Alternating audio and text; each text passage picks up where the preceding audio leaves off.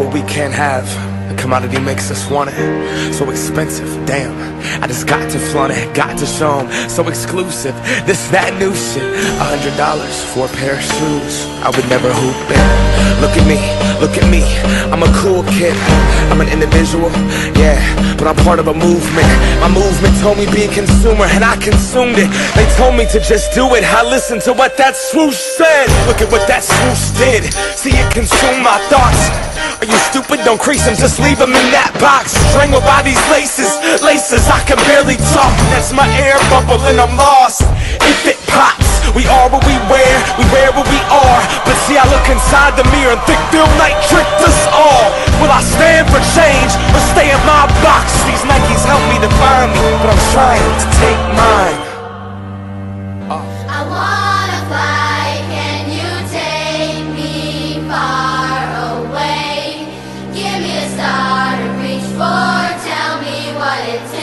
And I'll go so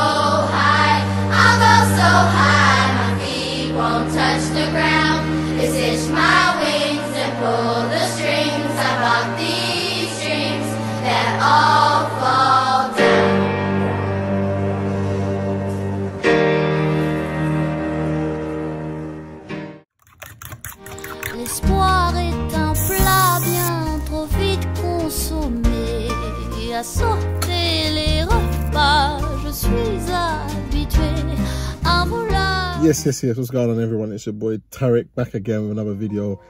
I know it's been a while since I've last uploaded. What going on six weeks? Um, long story short, I still have been training and playing football, but I just have not had access to a laptop because I share a laptop with my sister.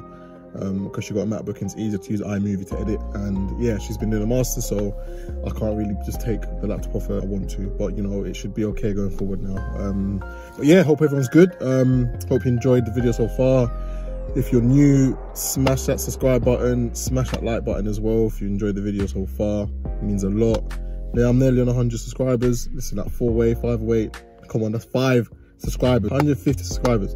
That's the aim. So there's a couple things I wanted to touch on for like this video.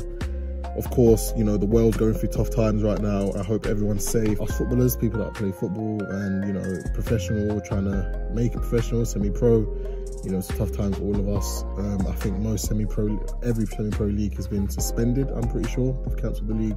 Just gonna, you know, start the next season next year. I mean, the summer. And yeah, so it's just a tough time. And obviously, you know, the main point I wanted to get out of all of this is that um, for someone like me, I am nowhere near, you know, where I wanted to be for like, for example, pre-season or where I want to be at the end of the day.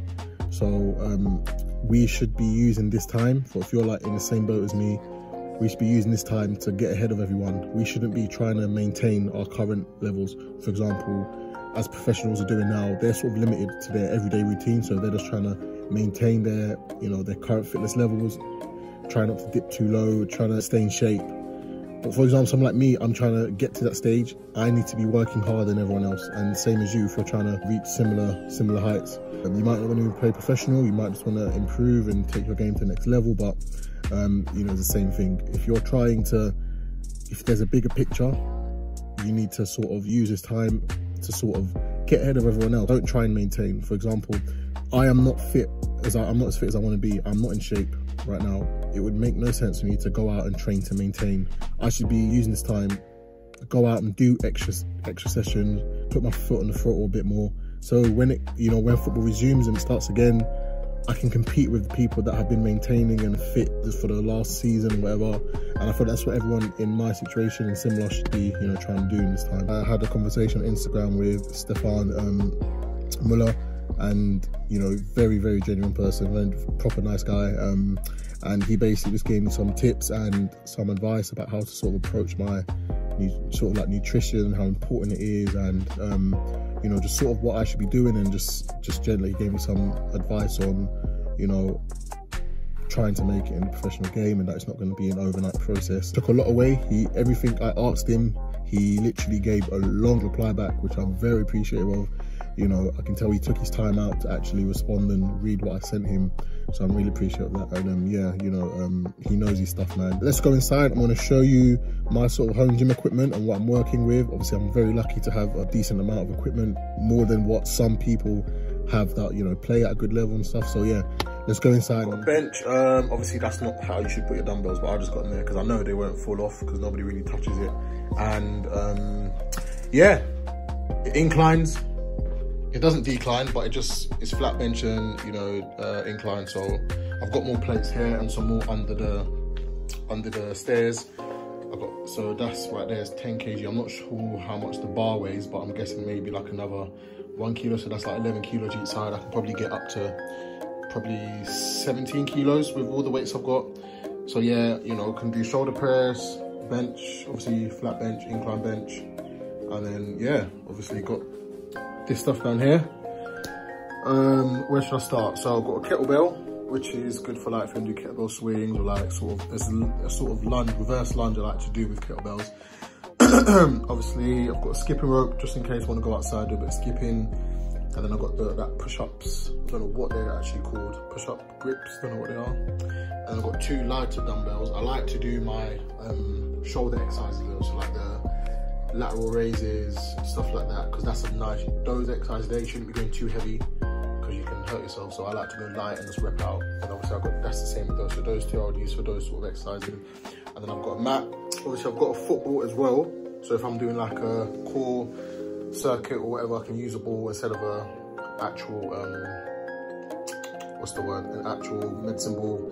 Same purpose, except for the medicine balls, you know, heavier. Once that gets too light, I'll use a kettlebell. If the kettlebell gets too light, I can use a dumbbell and the most important piece of equipment, let me do a little drum on. Pull-up bar. So I've got a pull-up bar, a very sturdy pull-up bar. This spins, you do that and it spins in and it's suction pad. This is not falling. oh, no, no, no, no.